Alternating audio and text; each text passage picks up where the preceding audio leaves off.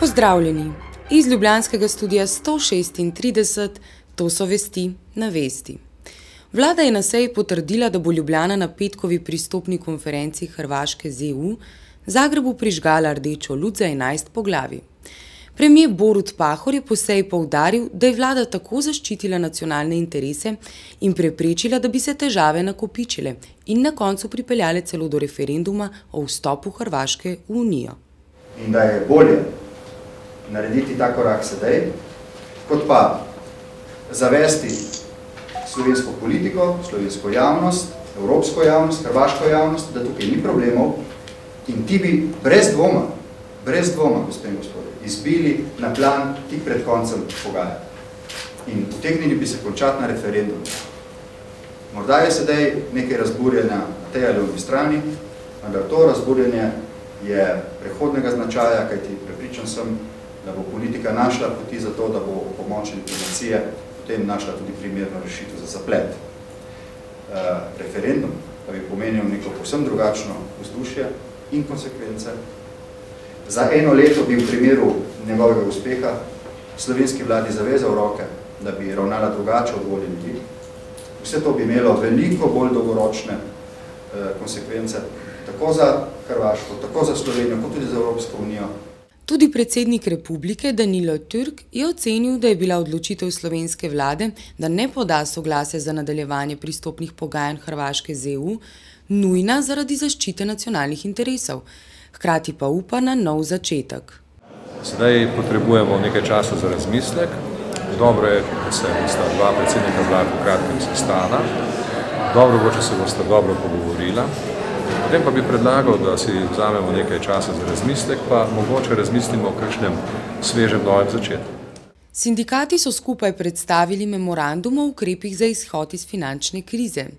Predsednik Zveze svobodnih sindikatov Slovenije Dušan Semolič je takole pojasnil, zakaj nasprotujejo razbremenitvi stroškov dela. Vlada še vedno straja na predlogu, da bi za, dobro, zdaj govori na mesto 5, govori o 3% znižali ne, za te odstotne točke znižali prispevek delodajalcev v pokojninsko blagajno. Češ, to bo prispevek za to, da, da, da bojo razbremenili stroške dela v, v podjetjih. Dati odpustek delodajalcem iz tega naslova ne, pomeni dati odpustek tudi tistim, ki so dobra podjetja, ki tega odpustka sploh ne potrebujejo. To pomeni tudi odpustek tam, ker je v celoti lastnik tuj kapital, ne, ki bo seveda to, to takoj prenesel v dobičke. In vlada je popustila. Samo nekaj ur kasneje je Mitja Gaspari povedal, da bodo na mesto znižanja prispevne stopnje za delodajalce pri prispevkih za socialno varnost subvencionirali skrajšani delovni čas. In vsi so bili srečni, posebej predsednik vlade. In naš medvedek Poker Stars, ki ima zdaj več časa, da bo igral poker. Jaz sem zadovoljen s tem, kar je pripravljeno za jutrišnji kolegi predsednika državnega zbora. To je zdaj največ, kar je slovenska vlada lahko dala vse. Mitja Gaspari pa je kljub temu precej črnogled. Upozorite javnost, da je situacija bistveno slabša, kot jo mnogi ta trenutek dojemajo. In da je treba zaradi tega biti izredno uh, previden. Vlada je predlagala razrešitev veleposlanice v BIH Nataše Vodušek. Zunanji minister Samuel Žbogar je povedal, da se je za to odločil, ker je bilo zaradi zadeve Vodušek oteženo izvajanje nalog veleposlaništva. Delo Voduškove pa je ocenil za zelo uspešno. Predlog za njeno poklic um, ni povezan z njenim delom, niti ni povezan z nesrečo, ki jo je imela.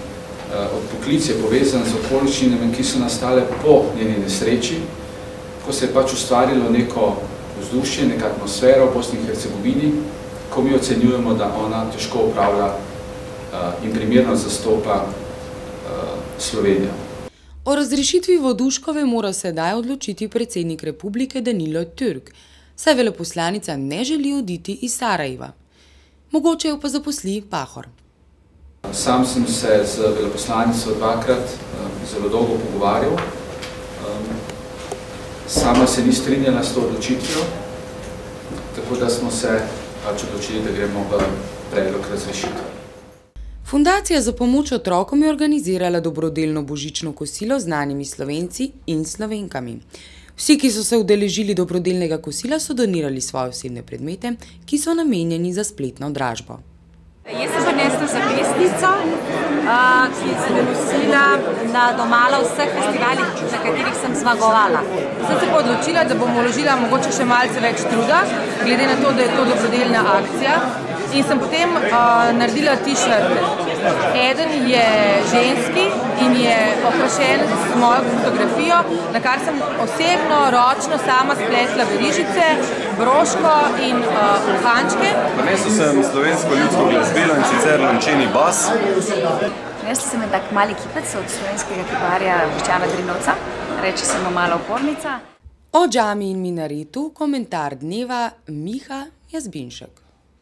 Po trenih 11. decembra eh, džamija v Ljubljani z minaretom ali brez, ko so gledalci pol pol izglasovali podporo islamskemu versko-kulturnemu centru, ostajajo udeleženci, omizja in gledalci na plahtani od župana Zorana Jankoviča, vključno z zastopnikom islamske skupnosti Mirom Senicom.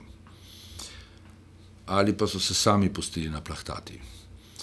Čeprav je bilo iz uvoda novinarke razvidno, da tudi Islamski center Zagreb ni kulturni center, temveč je izobraževalni center za medreso od leta 2000, uradno priznano versko srednjo šolo, s težnjo po islamski gimnaziji, ki omogoča upis tudi na vsak drug visokošolski študij. Seveda s potrebnimi šolskimi prostori, menzo, internatom, telovadnico in igrišči za nogomet, rokomet, košarko in odbojko. Glasovanje o napačnem vprašanju in napačni namembnosti centra je voditelj oddaje Uroš Slak podprl z moderiranjem levo-desnega sovražnega govora in političnega diskurza.